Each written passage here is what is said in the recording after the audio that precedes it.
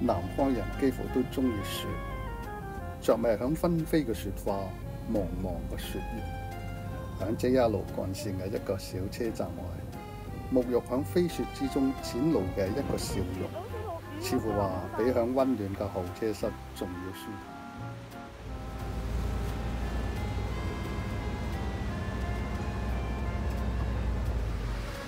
銀山，幽山靜林懷抱，銀裝素羅，有些少遺世獨立感嘅涵雅，晶瑩潔白之中又帶住幾分敦厚。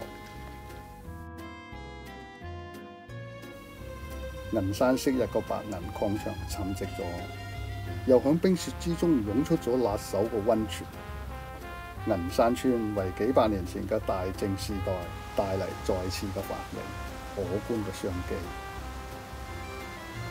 如果話溫泉業係銀山嘅軀幹，典雅嘅建築係別緻嘅容貌，落閘不絕嘅遊客係飄忽嘅靈魂，咁斑斕嘅白雪應該係一襲端莊嘅禮服，而速速嘅雪飄就好似浪漫嘅輕紗。短短嘅一條銀山村兩岸。一段段短橋連載住遊人嘅讚嘆，似響阿信嘅故鄉作客，同千與千尋一齊歷險。銀山嘅雪景原來可以用動聽嚟形容，宛如寒冬裏面一曲優美嘅奏鳴。冬日嘅銀山，人景共融，洋洋灑灑。